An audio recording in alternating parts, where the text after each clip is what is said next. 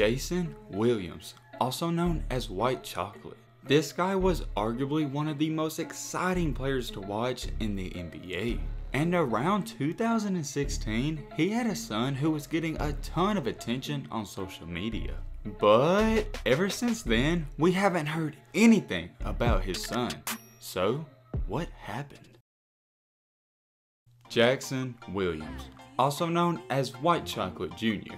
Jaxon is the son of the former NBA star Jason Williams. And at one point when Jaxon Williams was growing up, it looked as if he was going to follow in his father's footsteps. However, we haven't heard anything about this kid in three or four years. So, where's he at and what really happened? And to get into the bottom of that, you already know, we gotta throw it all the way back to where things started. Around the time frame of 2015 through 2016, this is when Jaxon Williams started to gain a lot of hype. He was getting a ton of mixtapes made of him on YouTube and they were blowing up. And as he started blowing up on YouTube, he started getting attention on Instagram, ESPN, Twitter, and every platform. He was only around the age of 13 or 14 when he really started blowing up, so a lot of people were thinking he hasn't even tapped into his full potential.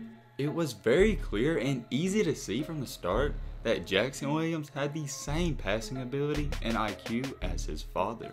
He also possessed really great handles so I can see why people were thinking this kid was up next. But one major thing that I have to throw in there and another thing he possessed from his father was his height. We all know White Chocolate, Jason Williams, whatever you want to call him, he wasn't the tallest NBA player.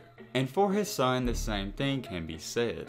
When he was around 14 years old and getting a ton of exposure on social media, he was around the same height of the kids he was playing against. And trust me, you guys know when you're younger, height really isn't a big factor.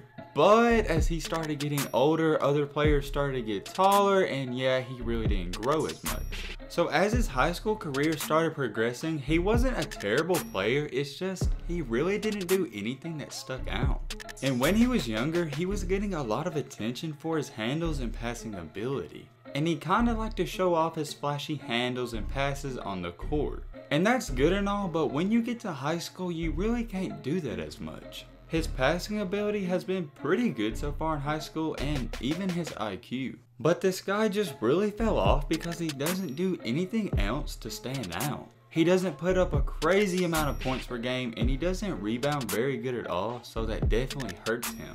So he hasn't completely fell off and just been a terrible basketball player, he's just mediocre and it's sad to say, but it's the truth.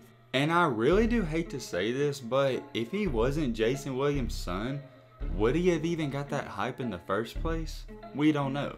But one thing we do know, and it's very clear to see, that hype has completely fallen off. And for a kid who was looked at as the next big thing and the quote unquote next white chocolate, it's going to be extremely hard for him to even get a scholarship at the next level. Now don't get me wrong, I could probably see this kid getting a Division 2 or maybe a Division 3 scholarship, but a D1 that's going to be really hard for him.